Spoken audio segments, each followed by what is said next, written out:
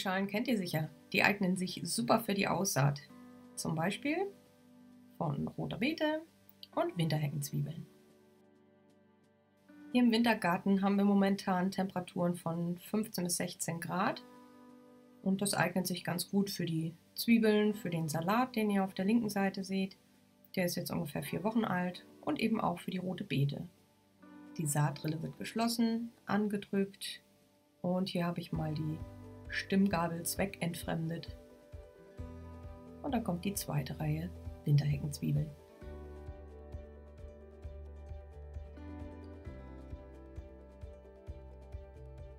Jetzt kommt die rote Beete. Habe ich vorher noch nie ausgesät. Und ich bin gespannt, wie sie wächst. Die drücke ich etwas tiefer runter. Saatkörner sind ja auch etwas größer als die von der Zwiebel. Und auch wieder andrücken. Und das Ganze wird natürlich auch noch angegossen.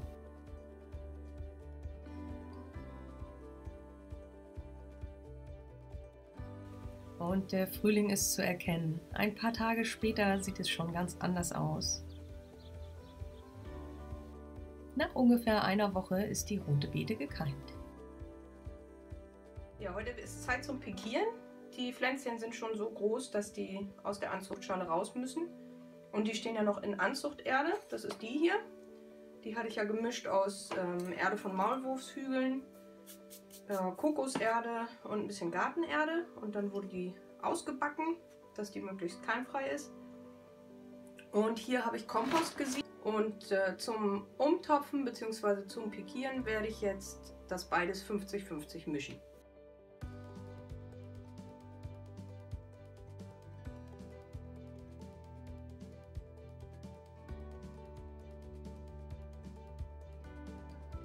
Warum mische ich jetzt Anzuchterde mit Kompost. Die Pflänzchen sind ja gekeimt. Die kriegen jetzt schon das erste richtige Blattpaar. Und die brauchen natürlich jetzt Nährstoffe. Und von daher kriegen die jetzt ein bisschen mehr Power. Jetzt geht es ans Pikieren.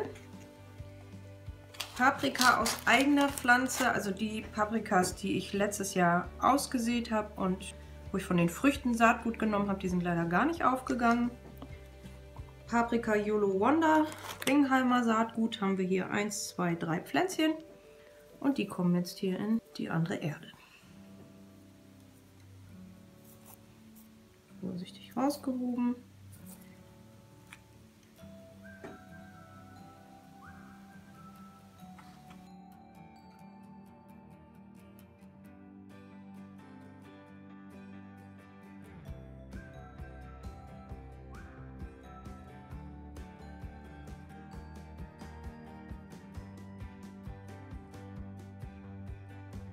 Das Ganze wird natürlich noch beschriftet, sonst weiß ich garantiert hinterher nicht mehr, was was ist.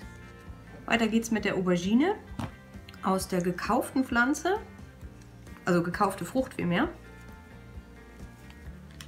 Da sind alle fünf Samen gekeimt. Die sehen richtig schön kräftig aus.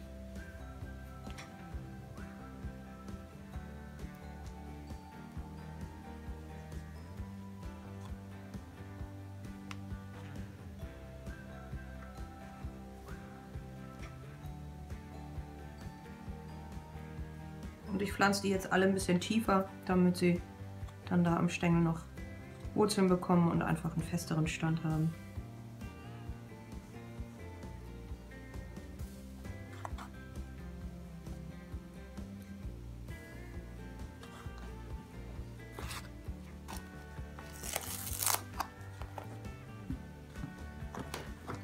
Hier haben wir noch dreimal Paprika Pantos, Bingenheimer Saatgut,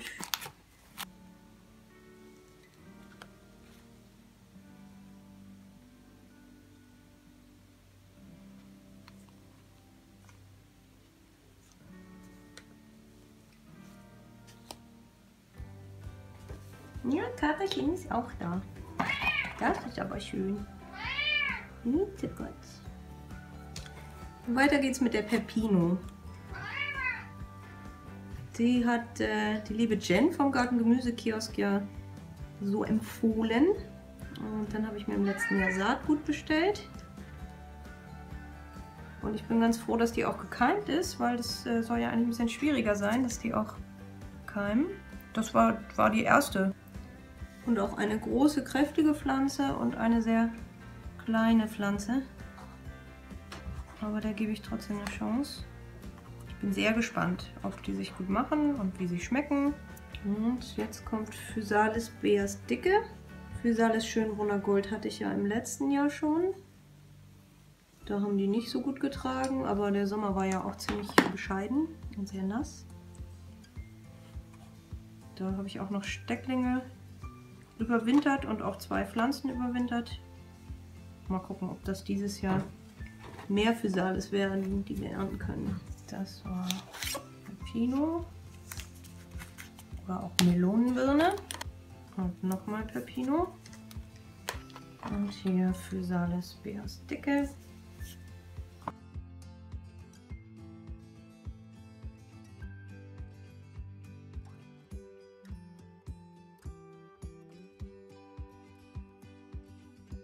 Und dann haben wir hier noch die Aubergine Zora.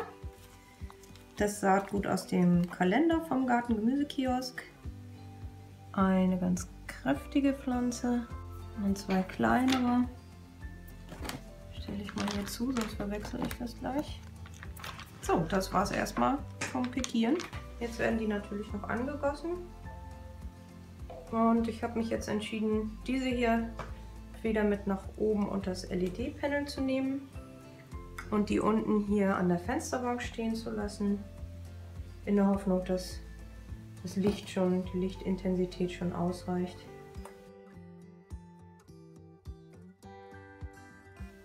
Es geht los mit der Aussaat der Tomaten. Ich freue mich total. Dieses Jahr dabei die berühmte Rigotti-Tomate, Journey Prince, Ochsenherztomate. Auf saatguttauschen.de habe ich äh, mir dieses hier ertauscht. Gelbes Birnchen. Das ist, sind die wilden Grazien. Tomate Black Cherry. Und die Ananas-Tomate, die ich letztes Jahr hier stehen hatte.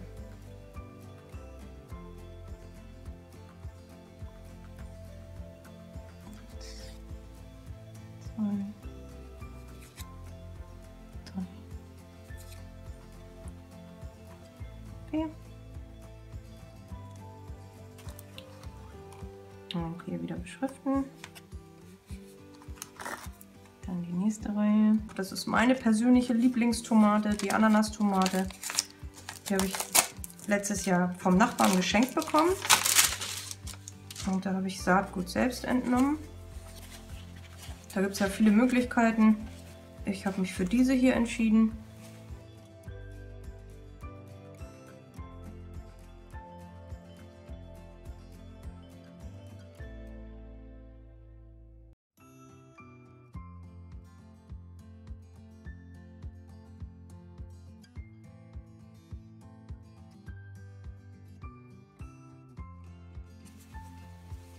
Als nächstes kommt die Ochsenherztomate, auch wieder aus einer gekauften Frucht.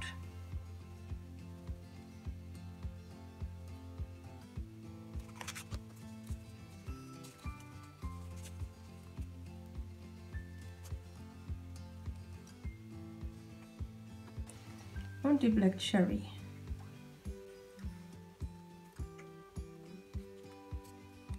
Beschriftet